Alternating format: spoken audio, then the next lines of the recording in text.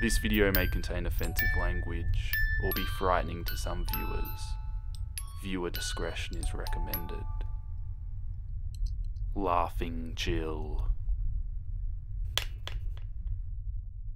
Let me tell you a story. Not a bedtime story, but a genuine story.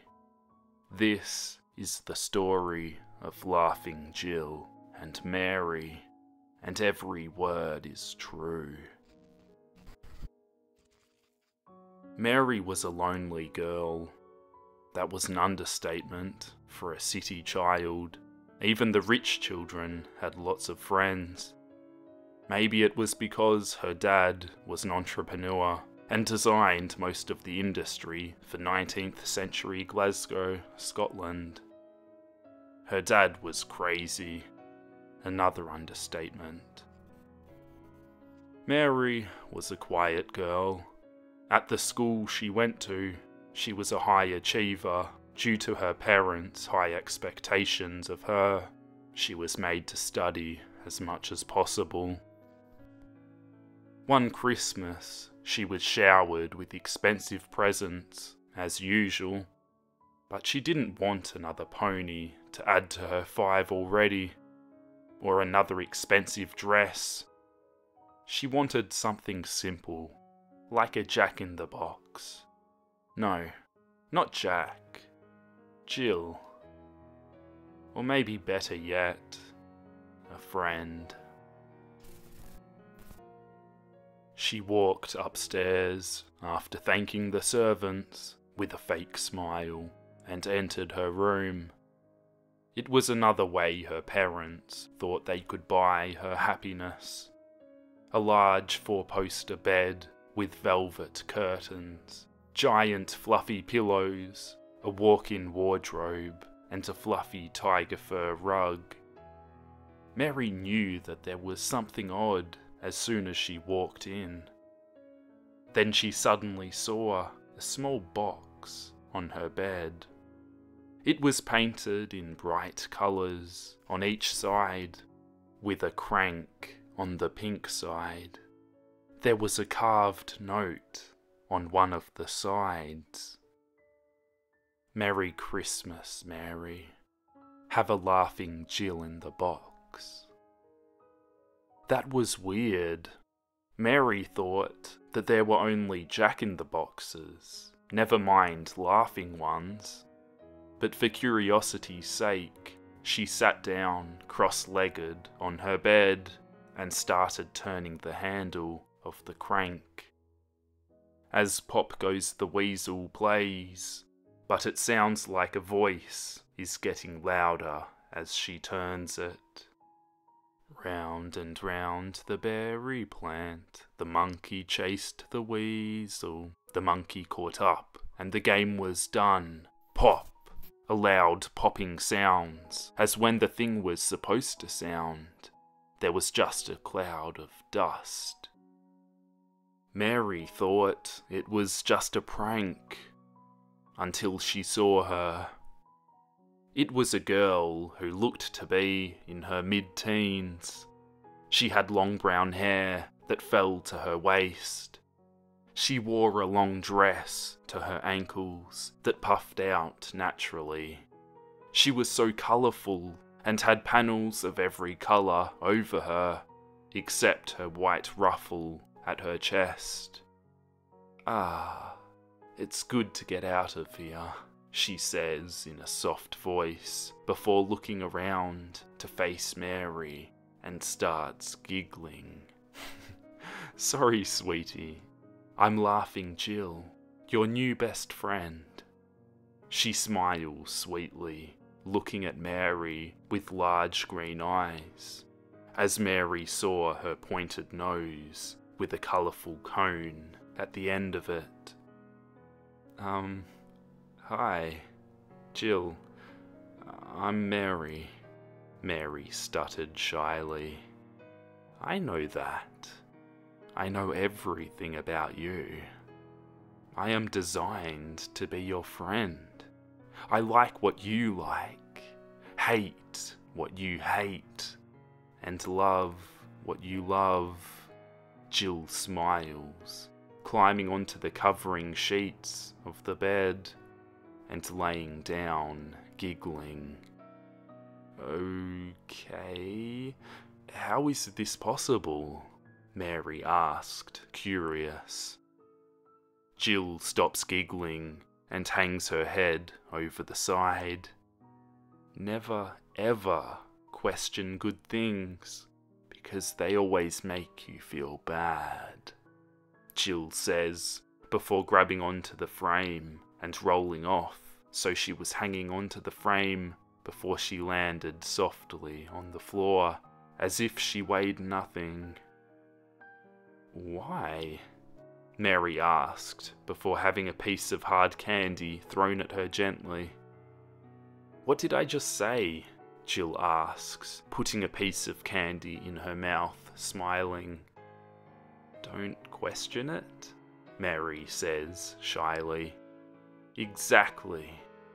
Mary, get dressed and we can play some games, Jill says, jumping onto the bed and swinging her legs up to show a pair of knee high boots. That's unladylike, Jill, Mary says, walking over to her closet.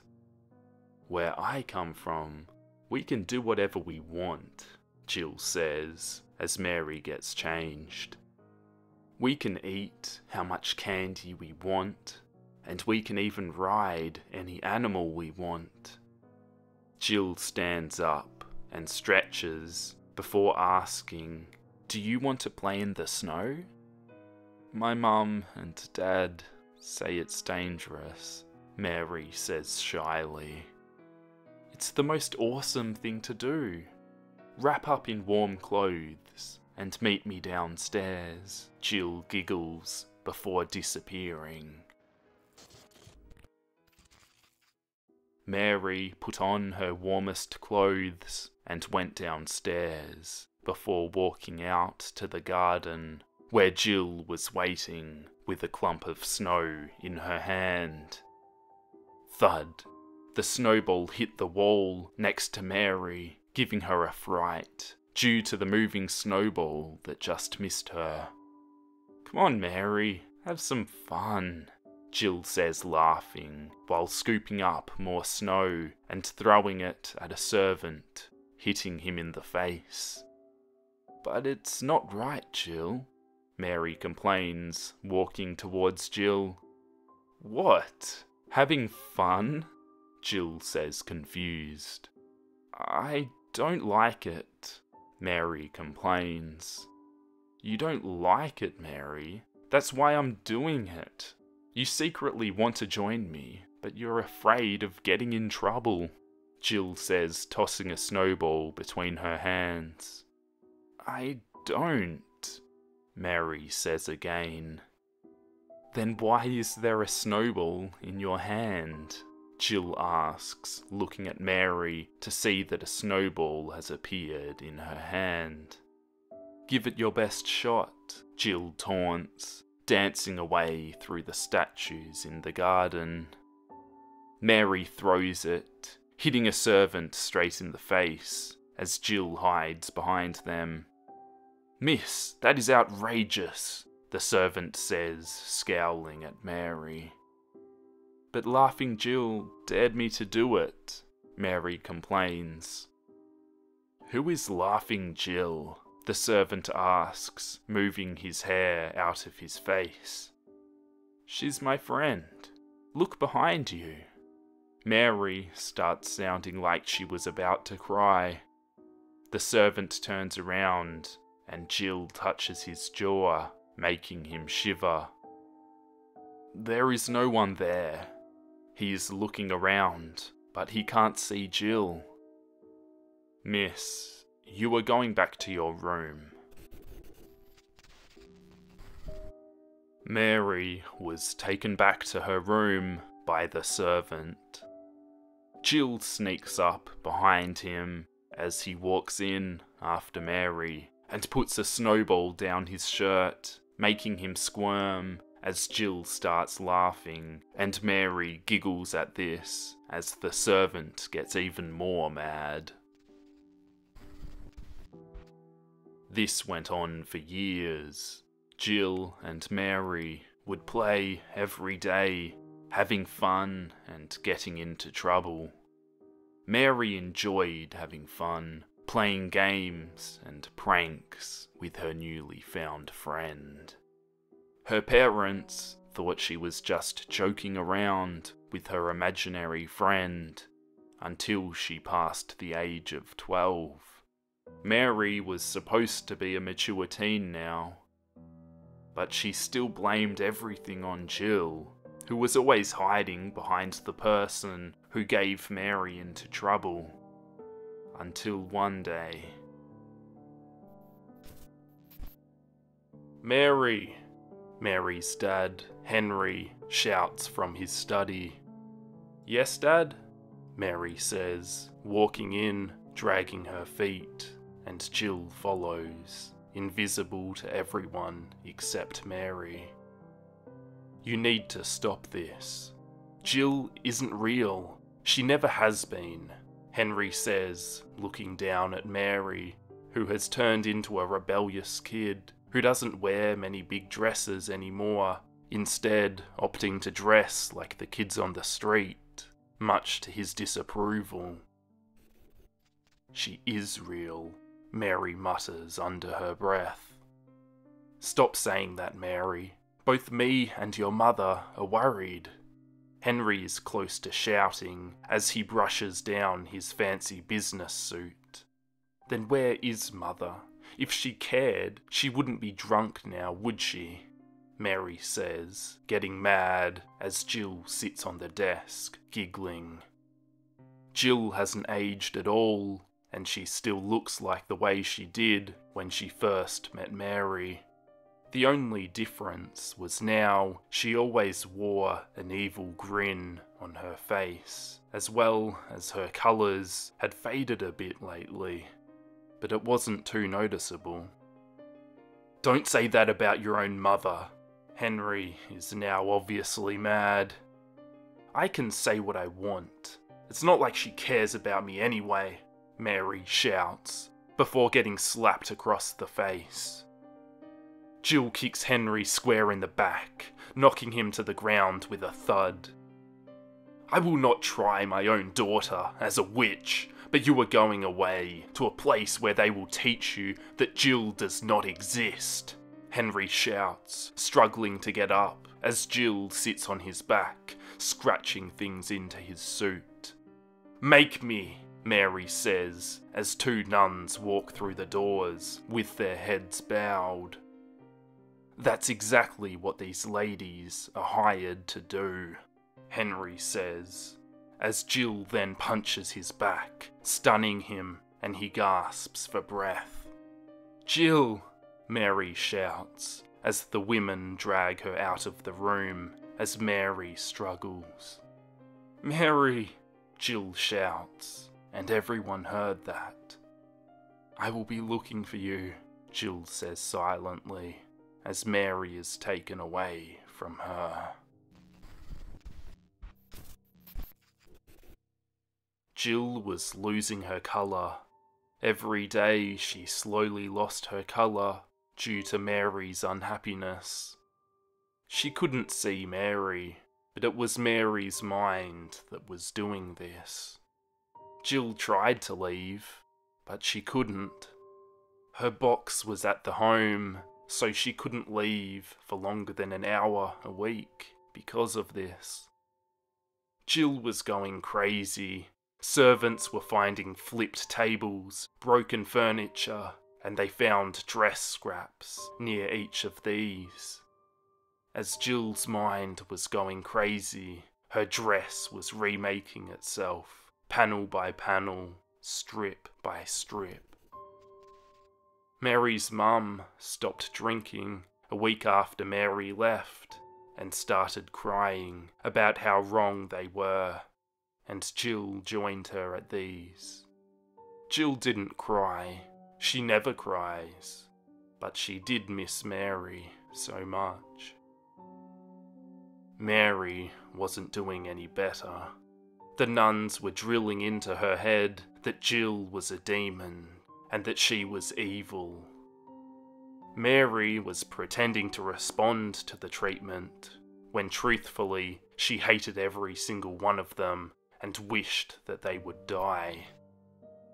She had her own room, but she ended up carving things into the walls and door, such as, If there truly is a God, he will beg for my forgiveness.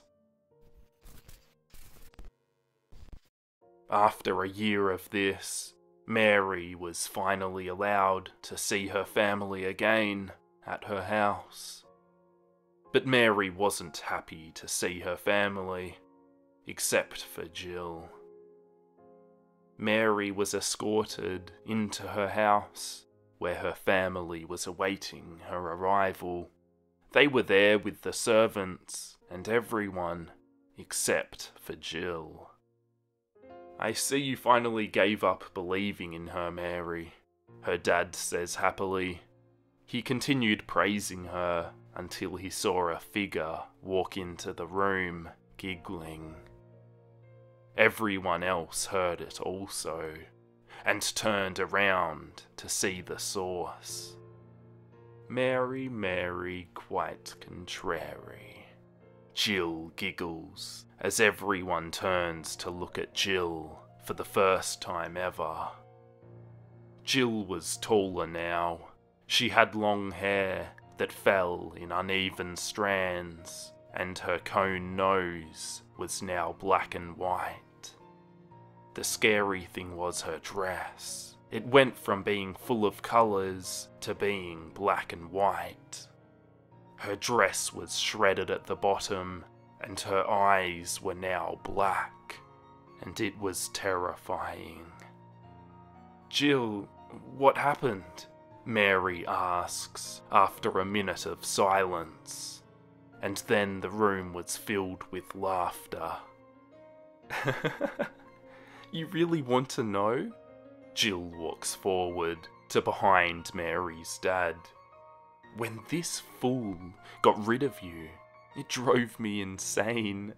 Jill was right next to his ear, like I will do to all these people. I couldn't stand being alone. Remember what you were like before you met me? That's what I was like. Lonely, depressed, so sad I couldn't eat candy. Jill flicks her arm and candy slides out from her sleeve. Mary, just say the word, and we can be together forever, with none of these idiots to keep us apart. Jill, I can. Bang! Mary fell to the floor as Jill feels something pass through her body. Jill turns around to see Mary's mother standing there with a gun in her hands. Mary's death made her snap in another room, the jack in the box from all those years ago broke into a million pieces. Mary's mother was standing there, looking at Jill in front of her. You're a monster, she says, her brown hair hiding her face. Why won't you die? To kill me? You killed Mary? Your daughter, your only child. Jill starts laughing.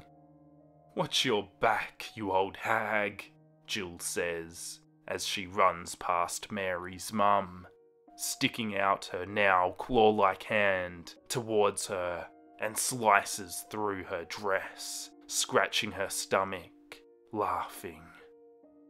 Sleep with one eye open, honey, Jill laughs as she disappears into thin air. Later that day, Mary's mother was walking through the house. She entered the living room to see a horrifying sight. It was the two nuns hanging from the chandelier by two ends of the one rope.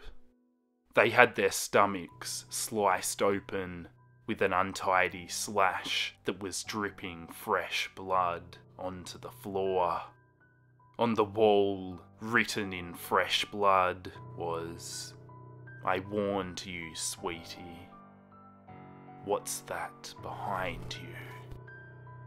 Mary's mother was afraid, but she turned around slowly to see a black and white face staring at her.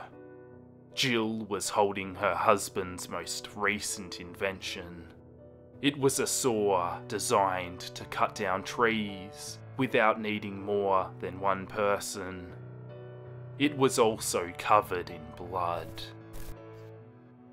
A high pitched scream echoes through the house as Jill lifts up the chainsaw and plunges it into Mary's mother's stomach, making her cough up blood and fall to her knees.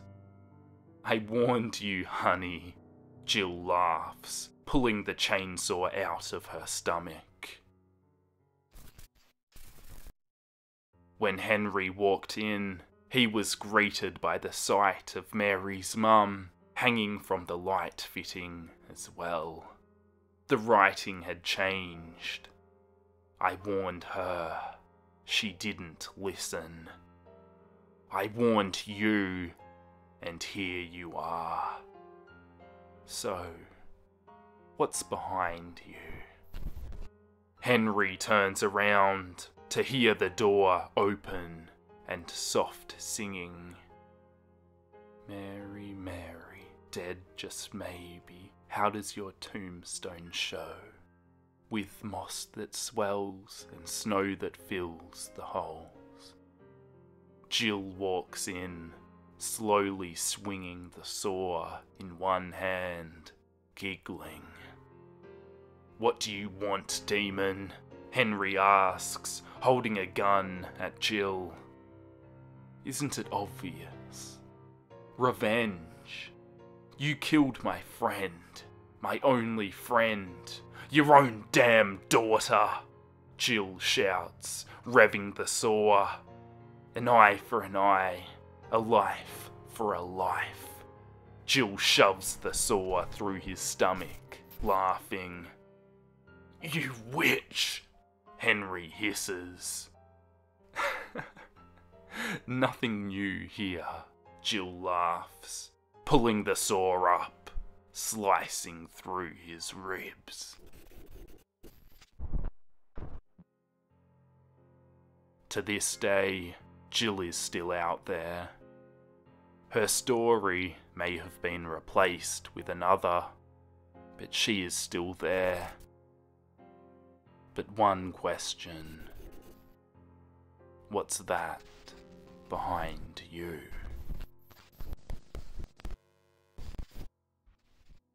Of course it was me, my splendid creature. Mr. Bunny even showed it to you. He smiled with self evident truth. I made for you many toys, and I can't wait to introduce you to Miranda. But you can call her Mandy if you like. Suddenly something hit his head, and it shattered into pieces. My father had a wooden club,